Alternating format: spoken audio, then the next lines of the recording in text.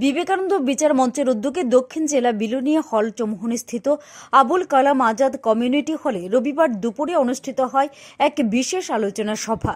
বিভিন্ন পদস্থ কার্যকর্তা এবং আশা ও অঙ্গনওয়াড়ি কেন্দ্রের কর্মীদের উপস্থিতিতে অনুষ্ঠিত হয় এই আলোচনা সভা। শিক্ষা এবং স্বাস্থ্য পরিষেবার মূল স্তরের অন্যতম কাণ্ডারি হল অঙ্গনওয়াড়ি এবং আশা কর্মীরা। তাই সামাজিক পরিষেবার পাশাপাশি ওনাদের নিজেদের আর্থিক উন্নয়ন, বিমাকরণ সহ বিভিন্ন সরকারি সুযোগ সুবিধা প্রদানের ক্ষেত্রে বিবেকানন্দ বিচার মঞ্চ সম্পূর্ণরূপে বদ্ধপরিকর। বক্তব্যে এমনটাই গঠনমূলক আলোচনা তুলে ধরেন বিবেকানন্দ বিচার মঞ্চের স্টেট মনিটরিং সেলের কার্যকর্তা গৌতম মজুমদার। স্কিম করে ওদেরকে দিচ্ছে।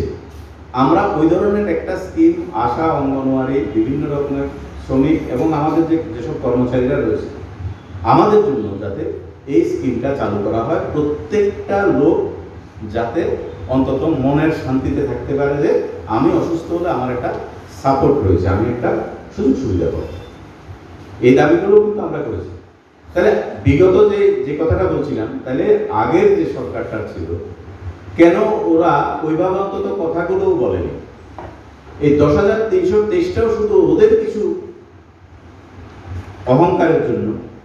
কালকের থেকে হয়তো যেই মাত্র শুনবে, আমরা আশা অঙ্গনওয়াড়ি নিয়ে কাজ করছি। আপনাদেরকেও আবার যে মাত্র বলবে, আরে এরা যদি এই এই কাজগুলো যদি করে, এদের মাথায় যদি ঢুকে যায় আগামী দিনে, তো আমাদের আর একটা ভোটও দেবে না। ওরা শুধু ভোটের রাজনীতি করে। ওদের শুধু ভোট দরকার, আর কিচ্ছু দরকার আবার আপনাদের ব্রেন ওয়াশ করবে, আরে ফালতু কথা, এগুলো মিথ্যা কথা। আরে এগুলো শুনিস না। কিচ্ছু হবে না। আমাদের এখানে কোনো আছে, কোনো দলের কোনো নেতা, কোনো মন্ত্রী, এই যে, এই ঘরটাতে? আমরা দল নিয়ে কাজ করি না। আমাদের দাবি নিয়ে কাজ করি। দলকে আমরা বাধ্য করব তুমি আমাদের দাবিটা দিতে হবে।